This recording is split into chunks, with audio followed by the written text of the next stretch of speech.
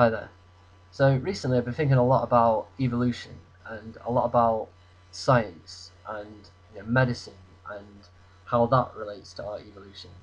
And I suppose the question that keeps coming back to me is, you know, is medicine especially beneficial to, to us as a species in the long term or is it you know detrimental to us to you know is it detrimental to our human evolution because you know there's two ways of looking at it. You know we, we can look at people who have illnesses and diseases being cured by medicine and by science.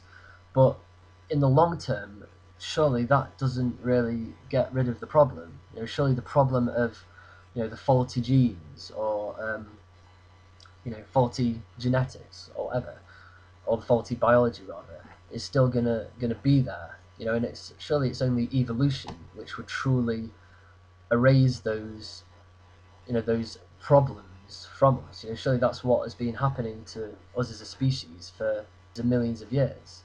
And if we you know if we healed everybody of every single illness that they ever have then those illnesses are never going to go away. You know they're always going to they're always going to be there. They're always going to crop up from time to time, even if they, you know, lay dormant for for a while. It's always going to be in our genes, and you know, the potential is always going to be there for them to crop up again in the future. And so, and then I've been looking at the other side of it. If we don't have any medicine, if we just let ill people get ill, you know, and let it either kill them or, you know, let their bodies fight it off, then eventually all the um, the vast majority of the illnesses that we have now will no longer exist. And granted, there will always be some other illness that will crop up, but that's always going to be the case. You know, if we if we stopped um, treating people with cancer, for example, then surely eventually evolution will you know, for, for lack of a better word, erase all the people from the gene pool who have the potential to get cancer, or the 40 G, or the not 40 genes, but all the the genes which would make cancer manifest.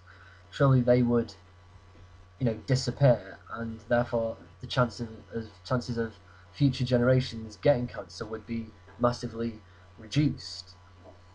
You know, and the same goes for all other diseases if we just let kind of nature take its course, then surely nature would sort itself out. It would separate the weak from the strong and the healthy from the, you know, the weak. And so, you know, I've been trying to think whether, you know, what is the best way to go about it. The only the only way that I can, or the only thing possibility, the only possibility that I can see us as a species working towards is complete mastery over, you know, over everything about our biology, a complete understanding of every single potential genetic defect, you know, the ability to cure absolutely any disease. You know, but you know, will we ever reach that stage? Is it possible that we will eventually be able to cure people of everything? You know, even perhaps old age. You know, that's a bit of a, a sort of scary thought. But um, you know, so is it really possible to do that? I mean, I don't. I mean, I don't see it happening. I mean, certainly not in my lifetime, obviously, but I mean, surely one day you'd think that it would. So, is medicine a short-term solution to a long-term problem? You know, or should we just let nature take its course? I mean, I'm I'm sort of in two minds about this, but I mean, obviously, I wouldn't refuse medical treatment because you know I'm only thinking short term because I'm only here for you know, what 80 years if I'm lucky, or something like that.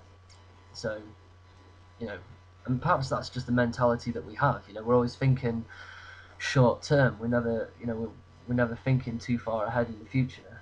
And the same goes with politics and the economy and you know, even our individual lives, you know, we're always only thinking about things that are going to happen soon rather than what's going to happen in the future, or rather the consequences of our actions. We very rarely think about the long term effect of what we are doing now. So, so that's just a thought of mine.